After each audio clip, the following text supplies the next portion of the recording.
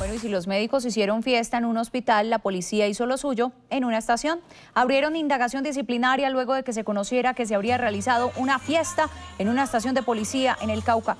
Los hechos se hicieron virales en las redes sociales con este video, luego del escándalo en la estación de Puerto Tejada, donde en medio de la pandemia y por la misma policía se realizó una fiesta con música a todo volumen sin medidas de bioseguridad, incluso con la participación de personas privadas de la libertad.